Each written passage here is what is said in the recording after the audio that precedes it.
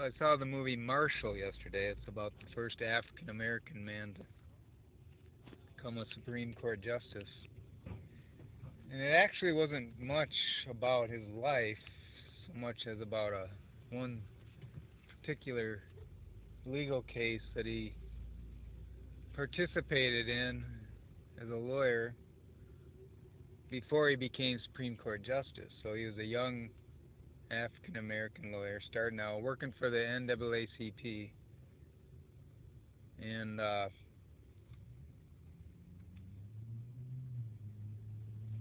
and his involvement in this case, which happened to be in a different state, so he wasn't really.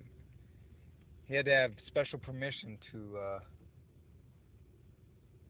to be a lawyer, uh, to take part in the in the in the case to defend this guy. He was defending an African American man of, of rape. Rape charges by a white woman. And it actually reminded me a lot of uh, To Kill a Mockingbird, if you, if you know that story. Not exact, uh, not exactly, but in some ways similar. And uh, comes at a time country when race relations are obviously another issue that race relations have come back up to the top of, uh, the pool. But there's nothing, it's nothing like it was back then. It's just ridiculous to compare today's problems of racism to way it was back when he was starting out as a lawyer. This is, I don't know the exact date, but after slavery, obviously, but before, you know, while the civil rights movement was kind of being hashed out. So around the time probably about segregation, desegregation was happening. You know, so there's still like white only drinking fountains and things like that.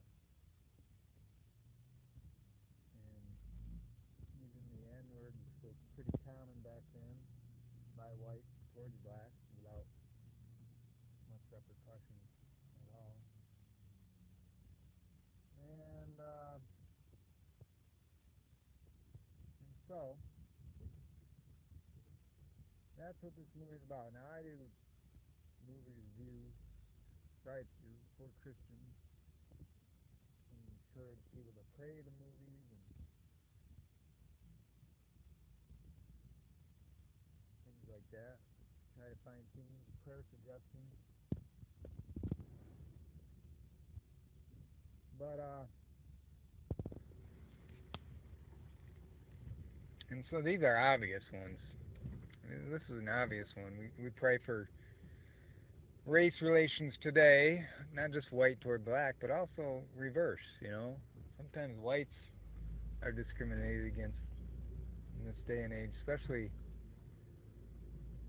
uh, especially now.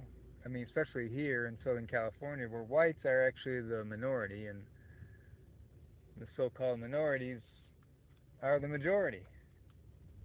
So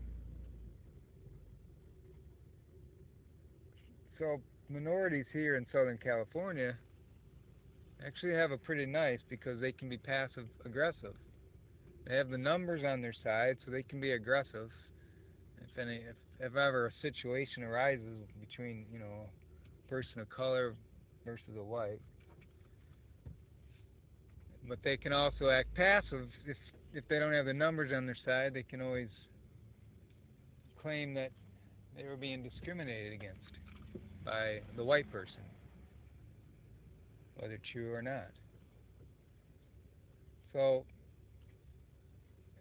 it's a situation that I am familiar with here. I'm not racist, but I've ran into racist situations